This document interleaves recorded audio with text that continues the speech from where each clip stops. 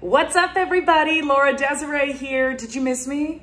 I missed you so much.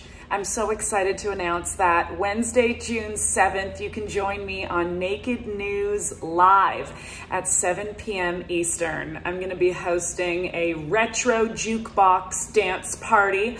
I say retro because you guys know me. We're going to be going all through the decades. So get ready, bring your dancing shoes. We're going to be working up a sweat, uh, so maybe even a towel. Uh, I look forward to seeing all of you there Wednesday, June 7th, 7 p.m. Eastern. I'll see you on Naked News Live. Bye.